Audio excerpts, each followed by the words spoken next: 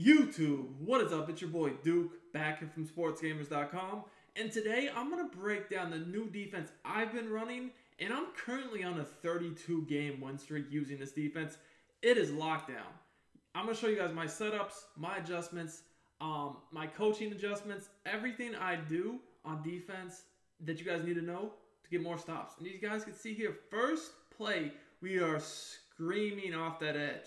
Now I'm going to showcase this defense in an online game. I'm playing a really good player. He runs a lot of tight. He runs a lot of bunch. So you guys are going to see how I like to defend a lot of the meta. I'm also going to, in a second here, give you guys my abilities, show you guys my team. I've had a few people ask me for that, so just wait a minute and I'll show you guys that. But I do want to go over some plays first. So basically what I'm doing is I'm in dollar with baseline off. And what I'm doing is I'm running a mix of spinner, cover 4, max sting 3, and DB fire 2. So against these tight and these bunch formations, what I do is I spread out my defensive line, I then slant them to the inside and I press my coverage. So after I do all that, simply IQB contain. That's the base setup and you're going to see me use that a lot throughout this video, but more importantly, you're going to see the adjustments that I make. For instance, here, you guys see he's in a tight formation, and what do we know about tight formations? They like to throw corner routes. So what you guys see I did there is I put the outside DB on the left of the screen in a deep zone. That's to protect against the corner route, and because I'm using that side, I can take my user, and if I see that the receiver that I don't have man up anymore, go on a quick out route or route over the middle, I can just user that myself. Now guys, when I QB contain, what happens against these tight and bunch formations is because I'm not base aligned, you'll see that the slot corners, sometimes I have to move them in a hair or two, but at least one of them is on a QB contain, and that's why I'm able to get these defensive ends coming off the, the edge free. Or, you know, if they run a different, like if they run play action a lot of times, or if they block DN pressure, I get edge pressure the opposite way, because most of the time I'm blitzing five. So it's a really, really tough blitz to block because you guys can see, like, you'll get the DNs coming free, but you'll also get slot corners coming free.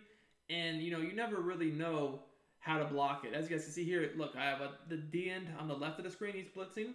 We got the DB on the contain. The other side, I got the DB coming free, so you guys can see what I'm talking about. Bam! We're screaming, manned up, and he doesn't know what. Okay, guys, as promised, here's my team. I'm going to show you guys my abilities, too. This is my offense, as you guys can see. I mean, three good receivers, good quarterback, good running back, good O-line. Can't complain. Nothing crazy here, just the hot route master, fearless, pass lead on.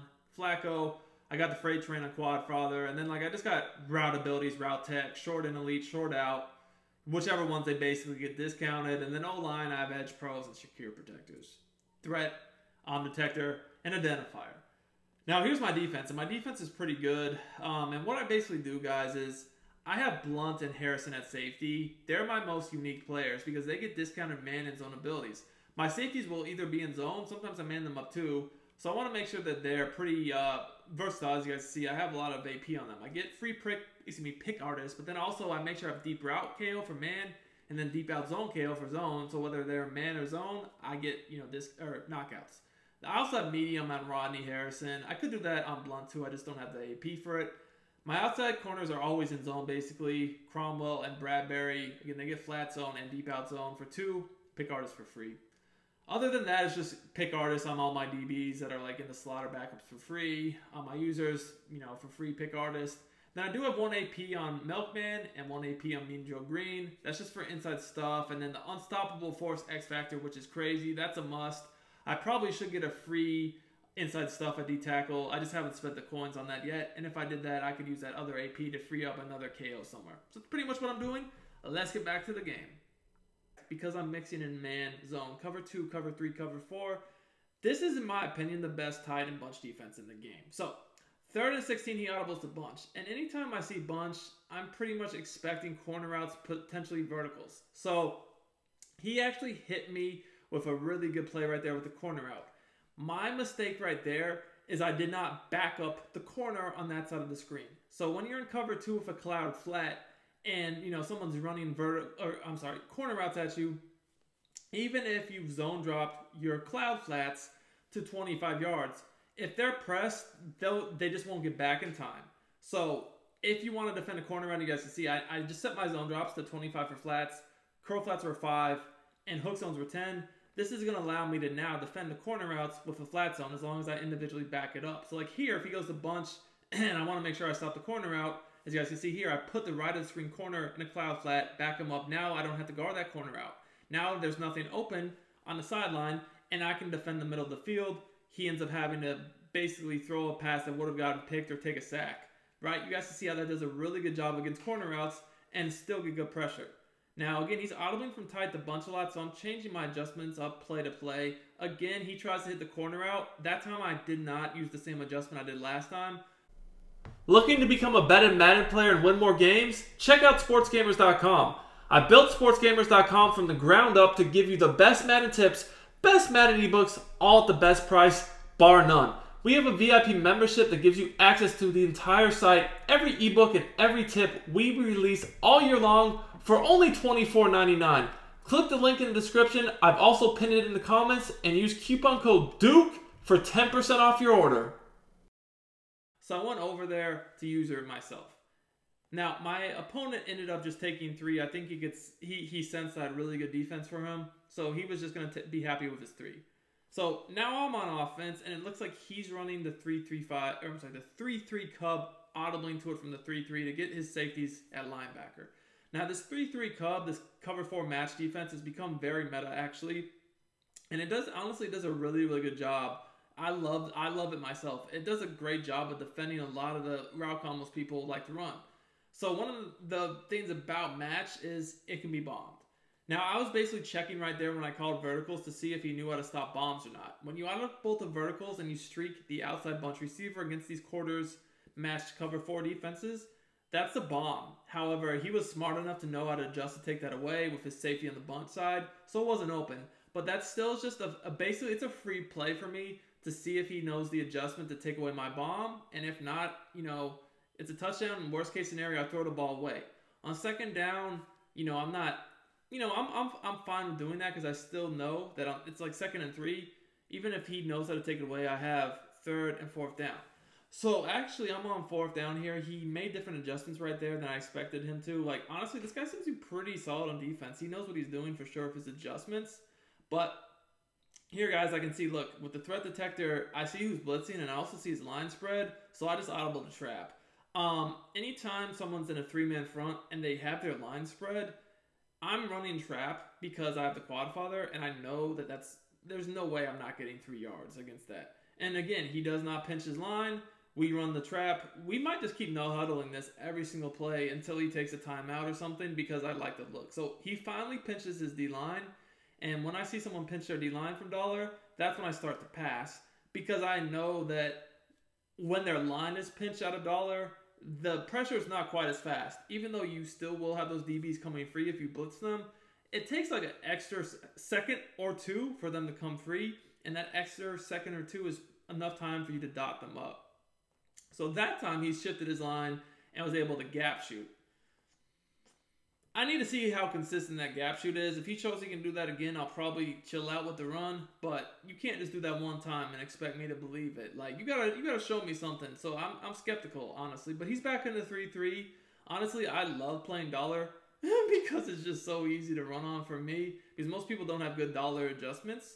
Um, I'd rather personally play against dollar at three three. Because when I see three three, most of the time I'm just I'm just going to the pass. To be quite honest. And with dollar, I feel like I have a better mix of run and pass. Whereas here, I'm just going to be pass heavy. So again, I kind of went with a slant post combo over the middle. He chose to use it a slant. I hit the post. Pretty easy concept. This cover four show too. It's really good against taking away the sidelines of corner routes. So one of the easy ways to beat it is just over the middle, right? When you put the user in conflict, you know that they're using the middle. I have identified to see that corner post, or I'm sorry, post slant combo is money. So here, actually caught him blitzing me, and I just ran flood. Flood is my favorite flat pass in the game. You just highball that, it's easy yards. So I'm first and goal at the seven, and this is honestly perfect because I'm getting ball half. I've drained a lot of clock here. I'm gonna start making him get in his timeouts. If I can score a touchdown here, like honestly, I'm in such a good position uh, to basically take full control of this game. So here I'm going to one of my favorite route combos from this area of the field, which is this double post, double uh, hitch. And honestly, I had my hitch wide open and I just chucked it. That was a horrible read. I don't know what I'm doing right there. Like I'm looking like a blind man. I don't know what that was. I guess I need to get my eyesight fixed because I had to hitch literally saying, "Hey, throw me the ball, please throw me the ball," and I just chuck it into two people. Like honestly, that was horrible. I don't know what I was doing. Uh, I I never do things like that, but I am human, man. I am human. Once in a while, I'll make a stupid read, and hey, that's one of the rare rare ones. And it's kind of like it's okay because I'm still in a good spot. It's okay. Like, you know, it's not the end of the world. He's locked. That's a pick six. We got to get a pick six there. We got to get a pick six there. Oh. But I'm in a pretty good spot because, I mean, his offense hasn't done much. You guys can see I got really good defense for what he's doing. There's 15 seconds left, so we'll probably just go into half down three, right? You would think. Um, and we're okay with that. I don't really feel like he's going to get in field range, but hey, we'll find out. We're about to find out. Um, okay, so right there he audibled into trips, and I wasn't expecting that. He's mostly been going like bunched and tight. So once he audibled into trips, I was like, mm, I don't like that because I feel like he might just try to chuck like the verticals play right down the seam. I wasn't prepared for that, so I had to uh, go ahead call a timeout and uh, change my defense up a little bit. So like here, I can just go man coverage, and now I'm not worried about him running verticals because I feel like that's probably what he's going to try to do. So guys, you see I put the safety on the right in the flat that's uh, zone drop to take away a potential corner to the tight end. And oh, he just oh, I did not expect that. That was smart by him. He did a little corner C route on the outside from verticals.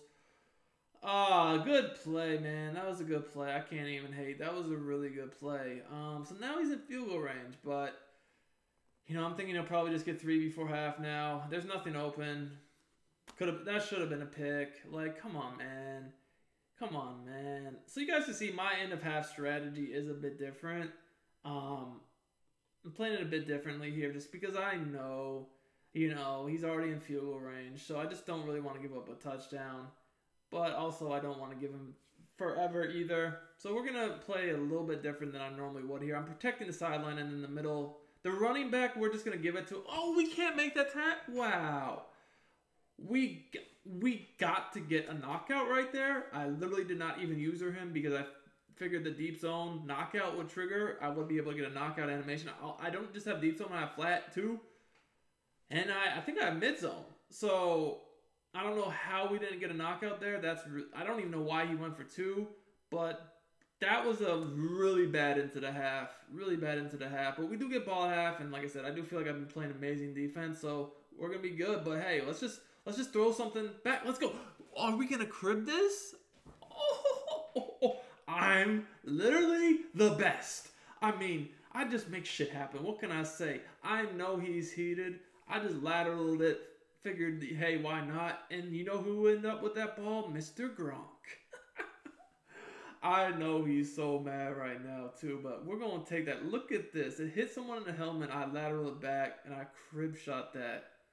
Hey, now I can get a touchdown and we're up. So, anyways, like I said, we're gonna get ball. We're gonna get ball here, and we're gonna just hit him with flood. Again, he's leaving that sideline wide open for the out. The match coverage he he's tending to play a lot of does not defend flood at all. It's way better against corner routes unless you know how to break it, which I've shown you guys how to break match coverage by the way. Check out that video um, if y'all haven't seen it. I recently posted it, how to glitch out match. But also, guys, if you want my full offensive and defensive schemes, hey, make sure to check out sportsgamerz.com. That's where I post all my premium content. Click the link in the description. Become a VIP member and use coupon code Duke for 10% off your order. That gets you access to the entire site. Every ebook and tip I release, you will get access to. So if you want to win more games, it's the best place and the only place to be. So once again, guys, you can see he's basically played this match nearly all game, minus the few plays he went to dollar that he just he got immediately out of because you know this offense is just too good against dollar. He's just been running match ever since. Now he actually switched it up to man, just all out man, and once again I went to my slant post combo. A thing about match is you almost have to think of it as a man coverage that's almost delayed because it doesn't start off man, but it does convert to man later in the play. So it's almost like beating man coverage just a second delayed. So if you have man beaters, they'll probably do well against match. That's the way to look at it. Now right there, I just literally just passed the ball because I thought he was gonna run commit, and I guess right. That's all that was. So right now he uh, he went for two. He didn't get it, and I'm just really trying to make him pay for that decision. I'm not gonna lie. Um, if I go for two here, I go up six, and that allows me to score again, potentially make that a two score game, right? So I could go up 14 potentially if I can get uh two these two this two point conversion score again and get another one. So I'm basically just trying to make him pay for not getting his two point conversion, right? So I'm going with trips, my slant post combo, very basic combo, yet very hard to stop. When you have the, the flats, the slant, the post, and the in, no zones really def- can defend both routes, and also the slant and the post will be man. So honestly, you almost just have to watch for where they use her and just go away from the user. Anyway, back on defense, and you guys are going to see once again my adjustments to this max sting 3. I have my zone drops for 5 yards for my curl flats right now, so basically that's going to take away any quick passes to the flats, and my deep zones will defend against corner routes because what I'm banking on is you don't have enough time to do like a street corner combo. See what I mean? Because he is not doing streaks, he's just doing outs, flats, and corners. The deep zones defend those really well, and I'm able to get a pick. This is one of my favorite defenses to use right now against tight formations. And as you guys have seen, when you mix it in with the spinner, the DB fire, it really gets confusing because as you guys see, like I'm getting one, if not two players free every time. I'm getting a combo of edge pressure and DM pressure. Guys, look, I've had these defenses on my site for forever now, and I got the full adjustments in the full scheme out there. It's in my weekly tip update, so make sure y'all check it out, man. So now I caught him in a new defense. This time he was in cover two, but now he's putting his safeties into outside thirds. He's probably using the safety package because he wants to defend against my corner routes on the sideline. You know that does a really good job. The only problem is, is he didn't he didn't guard his seam well enough. His sit him straight up the middle with the Gronk man. Hey, Gronk's been going crazy, and now we're about to go for two again, and we got Omaha. I can see his coverage, and honestly, I'm thinking he, this won't stop the run. So I just audible to the run once I saw his coverage. I was like, yeah, that's not good run D. And now we're up 14. So this is turned into a situation where he's got to score. And you guys can see I'm relentless. I'm bringing the pressure again. This time I'm going to go to spinner. Now he's audibling a bunch. So immediately in bunch, I'm thinking corner out. That's why I put that guy over there in a cloud. And then I can just use it the middle. And there's how is that not intentional grounding? Like literally every single play I'm screaming at him. So to, again, to protect against corner routes, I have a flat zone backed up with a cloud at a zone drop of 25. And I always do that on the bunch side to make sure they can't throw that. Now he's just not blocking anybody. Again, we're screaming off the edge. We're screaming from our loop on our linemen. And my responsibility in that defense is simply to watch the middle. Again, you can see that my curl flats are set to 5, clouds are set to 25. So again, now we're in bunch. So once again, I know that I need to put the corner on the one receiver, either deep zone him or you know shade up so like they can't just throw a C route at me and watch for the corner on the bunch potentially trail to the tight end. Now he had been blocking his running back almost every play, so I wasn't even like honestly respecting the running back. He finally hit him, so this is what our adjustments are going to be. We're going to keep the running back manned up. We're going to deep zone the one corner on the lone receiver side, and on the bunch side, I'm putting that guy in a cloud flat and backing him up so he can't throw a corner out. That just basically leaves me to use the middle like a slant, post, trail, either way. Now this time I'm in a different defense. I'm in max sting three, and we're gonna go ahead and use user the seam ourselves on the right side. All right. So here again, there's really not anything open. He, you know, he's getting pressure and having to roll out, and finally he finds the tight end. He was on the trail route. It just wasn't open at first. Nothing was. Um, and I mean, he, he was kind of fortunate there. He, I'm not gonna lie. Once again, now we're getting a gap. He throws the out route. So, you know, he, he's starting to move a little bit finally on this drive. This is the first drive he's put a few plays together, honestly. Um, but we're to adjust. We're to adjust. So he flips his tight right here. And when he flips his tight, what I do is I put Hendricks on the right of screen into a zone drop flat. So he can take away the corner route. And then I can use the other side myself. And he just throws it right there. That's the perfect adjustment. And we drop the pick. So again, I know he wants corner routes. So when I use her one side, all I have to do is put the other side in the zone drop flat, and there's obviously no corner routes are going to be open. but sometimes, you know, Madden taketh, Madden giveth, and he got some fluke right there. That should have been a pick.